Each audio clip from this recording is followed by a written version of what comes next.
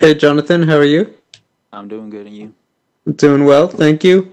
Um, I wanted to start with a quick question. What did you think of your teammate Chris Gutierrez saying recently, "Hey, I went out there and I avenged my teammates' loss to Andre Ewell"? Mm, That was that's pretty good. You know, it was exciting. You know, it's like a t good teammate and a best friend, so it was pretty awesome to see that. Was that something you guys talked about? Like, "Hey, man, like I'm gonna get him for you, don't worry," and anything like that?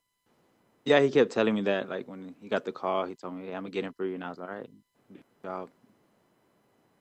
I hear you. Um, what are your thoughts on Davey Grant as an opponent?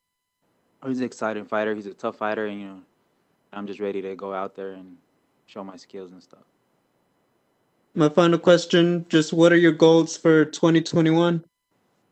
Just climb the rankings. You know, top 15 or top 10, hopefully, and you know, just keep climbing. Hey, thank you, Jonathan. Good luck. Thank you. We'll take our next set of questions from Jordan Ellis with Low Kick MMA.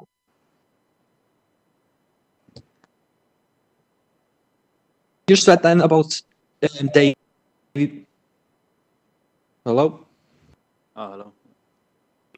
hello. Can you hear me? Yes.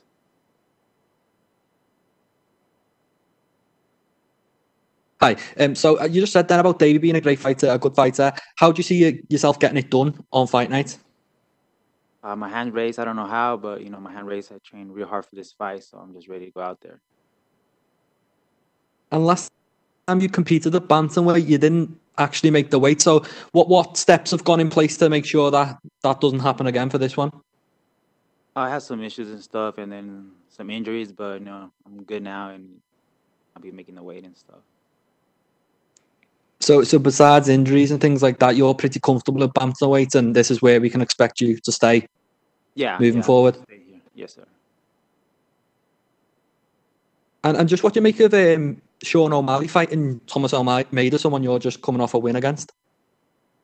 That'll be a good matchup. You know, I'm just excited to see that fight too, see how it goes. Okay, thanks for your time. Good luck with fight night. We'll take our last set of questions from Gavin Porter with UFC.com.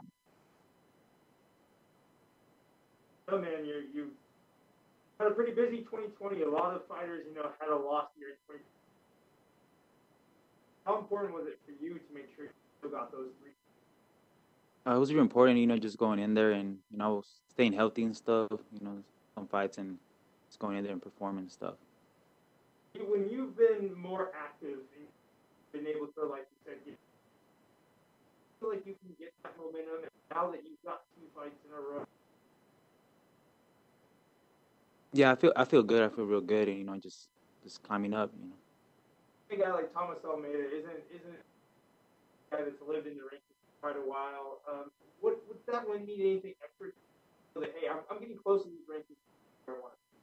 Yeah, yeah, sure. Every fight I think is you know a tough fight for me. You know, just different names, so to see every, opponent is a hard fight for me. decided to put on uh, in terms of a show and your skill set and show people about your game you haven't seen before. Yeah, maybe you see something different this Saturday. You know, never know. And my last question is a big win for you at this point. Taro, what do you think that does for you in terms of where you want to be in your goal? Honestly, hopefully, just climb this ladder. You know, what I mean, like 2020. You know, it's, hopefully it's gonna be my my year and stuff, and then go from there.